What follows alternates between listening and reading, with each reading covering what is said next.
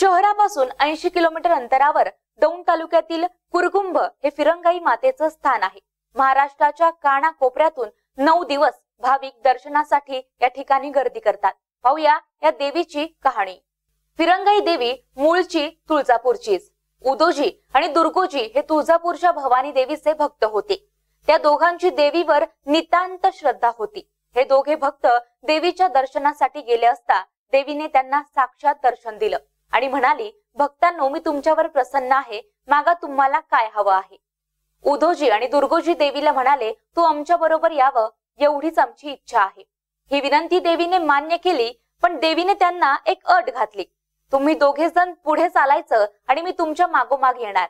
तुम्ही मागे वळून पाहायचं नाही. ज्या ठिकाणी तुम्ही मागे वळून पाहाल तिथे मी थांबणार. ही अट त्यांनी मान्य केली आणि उधोजी दुर्गोजी निघाले.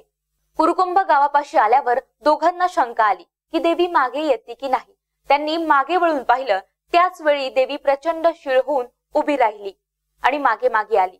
भक्तांनी मागे पाहिले म्हणूनच या देवीचं नाव फिरंगाई असं पडलं. पांडव वनवासात असताना फिरत फिरत या कुरकुंभच्या वनात आले. त्या काळी त्यांनी हे देवीचं मंदिर बांधलं. मंदिर बांधल्यानंतर देवीची पूजा होऊ लागली. काही वर्ष उलटली पुजारी वृद्ध झाला. त्याने देवीला विनंती केली की आपण डोंगरावरून खाली यावं. आता वयोमानाने माझ्याकडून तुझी पूजा वेळेवर होत नाही. पुजाऱ्याची ही विनंती मान्य करून देवी डोंगरावरून खाली आली. त्या काळापासून आजपर्यंत देवीची त्या ठिकाणी तिन्ही सांज पूजा केली जाते. अशा या भक्तांना पावणाऱ्या फिरंगाईची महिमा अपार आहे. नवरात्रात नऊ दिवस देवीचा या ठिकाणी मोठा उत्सव चालतो. या मंदिराचा आढावा घेतलाय आमचे प्रतिनिधी सुशांत जगताप यांनी. पाहूयात. फिरंगाई मातेचा उत्सव सुरू आहे आणि या फिरंगाई मातेच्या उत्सवामध्ये संपूर्ण महाराष्ट्रामधून या ठिकाणी भाविक भक्त या देवीच्या दर्शना दर्शनासाठी येत आहेत. आणि नेम आपल्याबरोबर या ठिकाणी विश्वस्त आहेत. या ठिकाणी काय सांगाल? देवीचा नेमका महिमा काय आहे? काय सांगाल? ही फिरंगाई देवी ही छत्रपतींची शिवाजी महाराजांची कुलस्वामिनी ज्यावेळेला महाराज तुळजापूर करायचे त्यावेळेला कुरकुमला येत होते. आणि हे सु पुणे या सो सुपे या जहागिरी परगण्यात मोडणारं हे देवस्थान.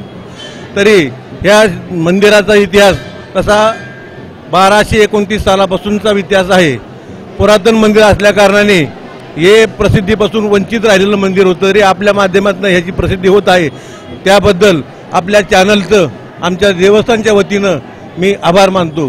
त्याचप्रमाणे ही फिरंगाई माता ही नवसाला पावणारी असून जी देवीची शक् एक्कावन्न शक्तिपीठं आहेत उपपीठं त्यापैकी असणारं हे उपपीठ आणि महाराष्ट्रातलं जागृत देवस्थान खान- पूर्ण खानदेश वराड मुंबई पुणे कर्नाटकमधनं लोक या ठिकाणी येत येत असतात आणि नवरात्रामध्ये लाखोच्या संख्येने भाविक येऊन जातात.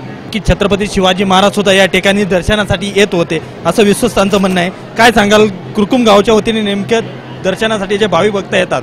त्यांना काय काय तुम्ही सु सुविधा करून देतात? मध्ये नवरात्र उत्सवामध्ये नऊ दिवस या ठिकाणी ही फार मोठी यात्रा या ठिकाणी भरते. राज्यभरातून या ठिकाणी लोक येत असतात.